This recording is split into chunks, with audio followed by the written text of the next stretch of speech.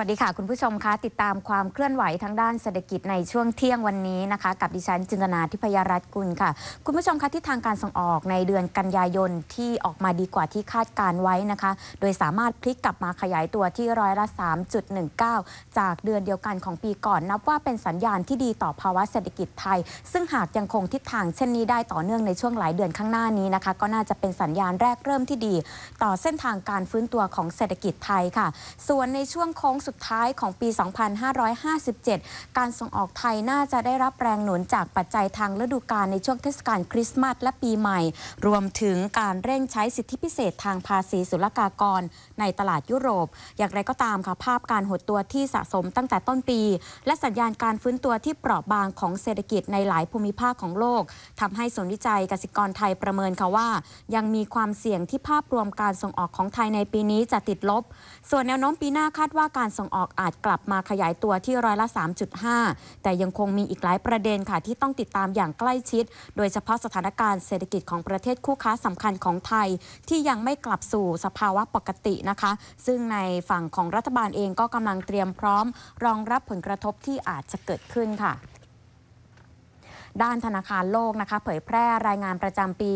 Doing Business วิเคราะห์ความยากง่ายในการประกอบธุรกิจของประเทศทั่วโลกนะคะปรากฏว่าสิงคโปร์นิวซีแลนด์และฮ่องกงติด3 อันดับประเทศที่น่าลงทุนทำธุรกิจมากที่สุดนะคะ ส่วนไทยขยับดีขึ้นค่ะ จากปีก่อนมาอยู่ในอันดับที่ 26 ค่ะนายอุริกซาเกาผู้อำนวยการธนาคารโลกประจำประเทศไทยเปิดเผยค่ะว่า ผลการวิเคราะห์การจัดอันดับความยากง่ายในการประกอบธุรกิจใน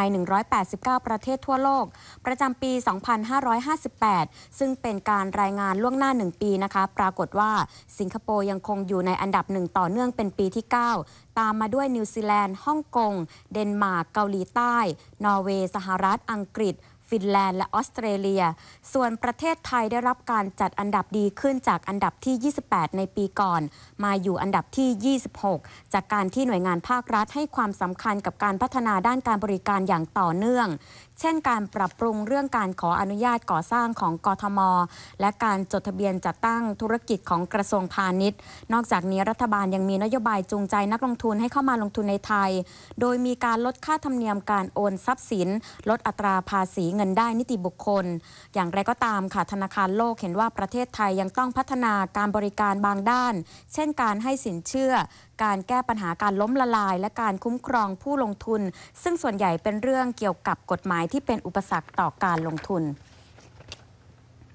7สมาคมวิชาชีพภาคสังหาริมทรัพย์ และการก่อสร้างเสนอรัฐบาลปรับปรุงเรื่องการขอใบอนุญาตก่อสร้าง ซึ่งมีขั้นตอนที่ซับซ้อนและล่าช้านะคะ เป็นอุปสรรคต่อการพัฒนาศักยภาพของอุตสาหกรรมและการลงทุนค่ะ นายสุชัชวีสุวรรณสวัสดิ์นายกสมาคม วิศวกรรมสถานแห่งประเทศไทยในพระบรมราชูปถัมภ์นะคะ กล่าวว่าในโอกาสที่จะมีการเปิดเสรีอาเซียนอย่างเต็มรูปแบบ ผู้ที่อยู่ในวงการอสังหาริมทรัพย์ และการก่อสร้างรวม 7 สมาคมวิชาชีพ ได้มีการหารือระดมความคิดเห็น เกี่ยวกับการขอใบอนุญาตก่อสร้างที่มีขั้นตอนที่ซับซ้อนล่าช้าทำให้นักลงทุนมีความกังวลต่อระยะเวลาในการก่อสร้าง และต้นทุนที่เพิ่มขึ้น ส่งผลกระทบต่อการพัฒนาศักยภาพของอุตสาหกรรม การลงทุนและพาณิชยกรรมของประเทศ ส่งผลด้านลบต่อการจ้างงานและเศรษฐกิจโดยรวม ซึ่งทุกฝ่ายเห็นพ้องกันค่ะว่าควรมีการปรับปรุง การขอใบอนุญาตก่อสร้างให้มีประสิทธิภาพโปร่งใส เพื่อเสริมสร้างขีดความสามารถในการแข่งขันของประเทศ โดยขั้นตอนการขอใบอนุญาตไม่ควรใช้ระยะเวลาเกินหนึ่งเดือนด้านนายไกรตั้งสง่า อุปนายกสมาคม วิศวกรรมสถานเห็นว่า การขอใบอนุญาตก่อสร้างควรต้องลดขั้นตอนลง และกำหนดค่าธรรมเนียมให้เป็นมาตรฐาน รวมทั้งปรับปรุงกฎหมายที่เกี่ยวข้องที่ล่าออขออภัยค่ะ ปรับปรุงกฎหมายที่เกี่ยวข้องที่ล้าสมัยนะคะ ซึ่งข้อเสนอต่างๆ เหล่านี้จะนำเสนอไปยังรัฐบาลต่อไปค่ะ ส่วนการซื้อขายหลักทรัพย์ในตลาดหุ้นไทยในภาคเช้าวันนี้นะคะดัชนีปรับตัวเพิ่มขึ้นในทิศทางเดียวกับภูมิภาคค่ะ ส่วนหุ้นสหรัฐปิดตลาดเมื่อคืนที่ผ่านมาดัชนีปรับตัวเพิ่มขึ้น หลังได้รับปัจจัยบวกจากดัชนีความเชื่อมั่นผู้บริโภคของสหรัฐที่พุ่งขึ้น แต่ระดับสูงสุดในรอบ 7 ปีค่ะโดยดัชนีดาวโจนส์ปรับตัวขึ้นไป 187.81 จุด ปิดเหนือระดับ 17,000 จุด NASDAQ ปิดที่ระดับ 4,564.29 จุด บวกขึ้นไป 78.36 จุด และ S&P 500 ปิดที่ระดับ 1,985.05 จุด บวก 23.42 จุดค่ะ